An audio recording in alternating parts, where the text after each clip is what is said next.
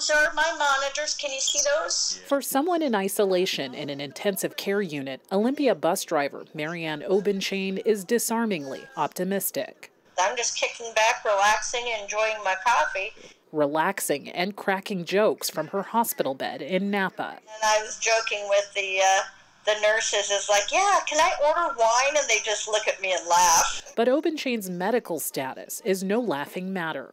Monday night, I, I, yeah, they came and told me I was tested positive for the coronavirus. COVID 19, an unwelcome souvenir after a trip to Asia that began with stops in Japan, Hong Kong, and Taiwan, and ended with a 12 day quarantine on board the now infamous Diamond Princess ship.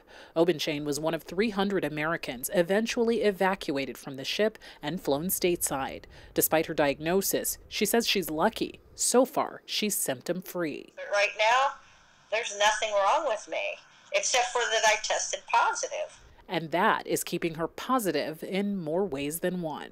I can either be a victim or I can choose not to think that way and walk away from this victorious. It's just a mindset. Kristen Ayers, King 5 News.